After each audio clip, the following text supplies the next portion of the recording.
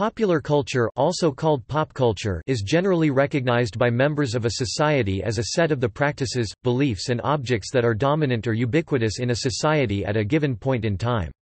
Popular culture also encompasses the activities and feelings produced as a result of interaction with these dominant objects. Heavily influenced in modern times by mass media, this collection of ideas permeates the everyday lives of people in a given society. Therefore, popular culture has a way of influencing an individual's attitudes towards certain topics. However, there are various ways to define pop culture. Because of this, popular culture is considered an empty conceptual category, or something that can be defined in a variety of conflicting ways by different people across different contexts. It is generally defined in contrast to other forms of culture such as folk culture, working class culture, or high culture, and also through different theoretical perspectives such as psychoanalysis, structuralism, postmodernism, and more.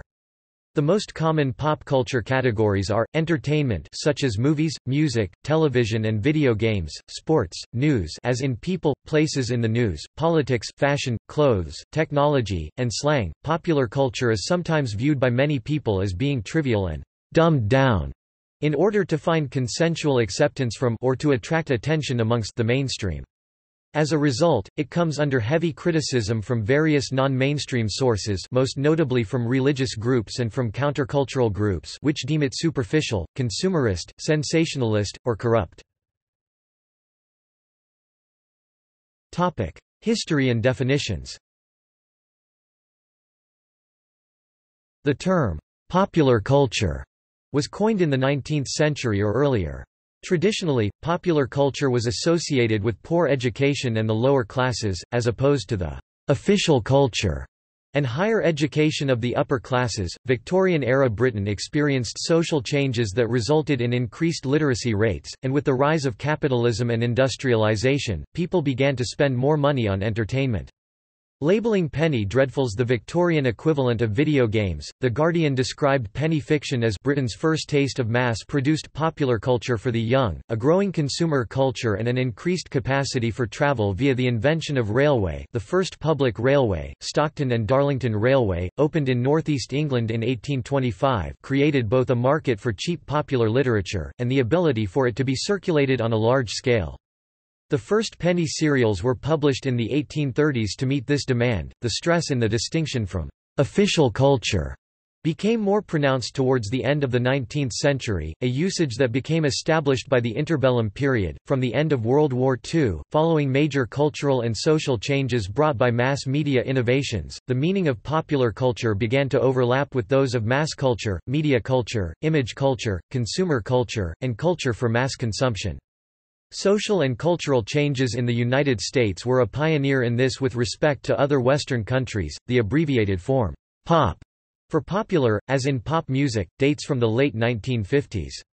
Although terms pop and popular are in some cases used interchangeably, and their meaning partially overlap, the term pop is narrower. Pop is specific of something containing qualities of mass appeal, while popular refers to what has gained popularity, regardless of its style. According to author John Storey, there are six definitions of popular culture. The quantitative definition of culture has the problem that much high culture, e.g., television dramatizations of Jane Austen, is also popular.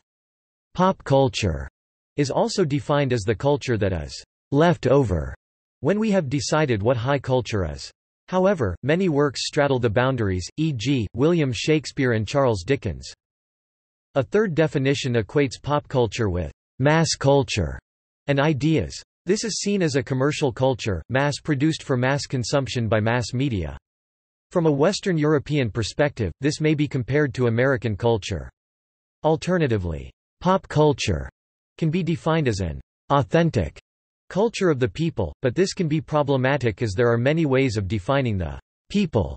Storey argued that there is a political dimension to popular culture, neo-Gramscian hegemony theory sees popular culture as a site of struggle between the resistance of subordinate groups in society and the forces of incorporation operating in the interests of dominant groups in society.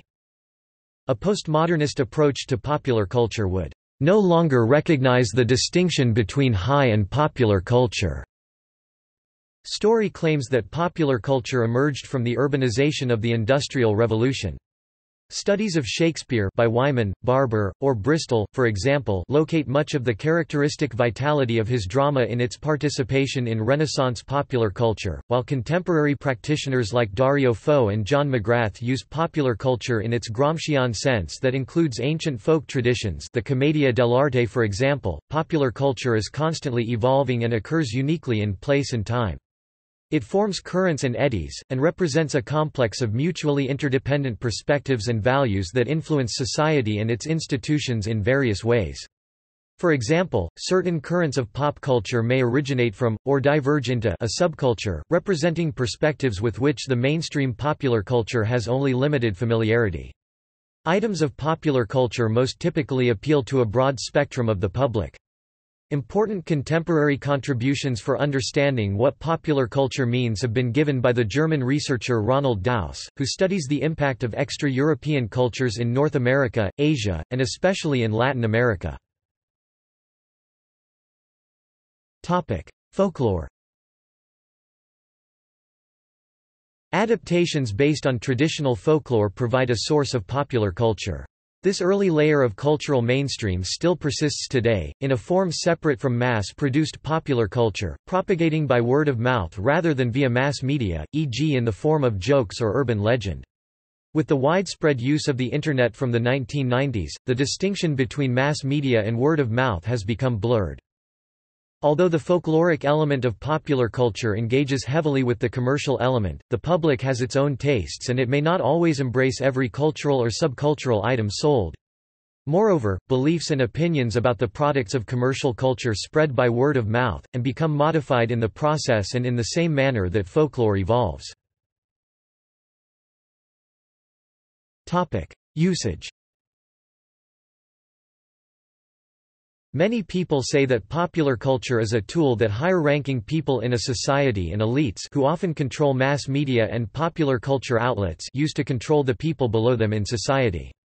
It's also said that popular culture dulls the minds of the common man, making them more passive and easier to control, although popular culture can also be used as a means of rebellion against the ways and culture of dominant subcultures. Topic sources Sources of popular culture include, films television programs popular music sports corporations books no section radio no section video games no section The Internet no section topic Films Films started massive popular culture. Topic television programs A television program is a segment of audiovisual content intended for broadcast other than a commercial, trailer, or other content not serving as attraction for viewership. Television programs may be fictional as in comedies and dramas, or non-fictional as in documentary, news and reality television. It may be topical as in the case of a local newscast and some made-for-television movies, or historical as in the case of many documentaries and fictional series. They can be primarily instructional or educational, or entertaining as is the case in situation comedy and game shows. Topic music Popular music is music with wide appeal that is typically distributed to large audiences through the music industry.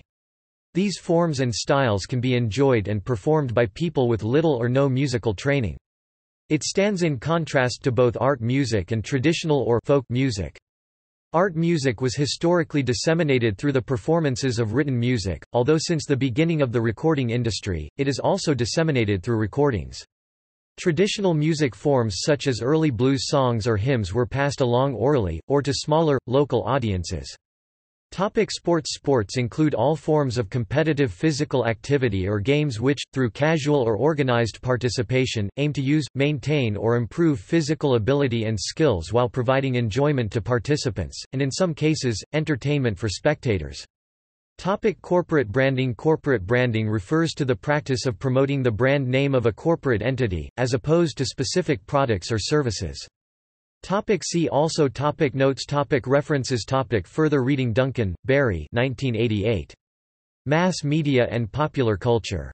Toronto, ONT, Harcourt, Brace & Co. Canada. ISBN 0-7747-1262-7. Rosenberg, Bernard, and David Manning White, joint. eds.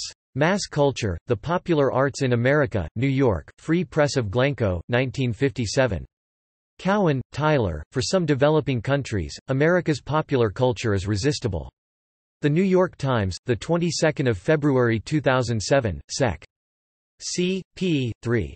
Furio, Joanne, The Significance of MTV and Rap Music in Popular Culture.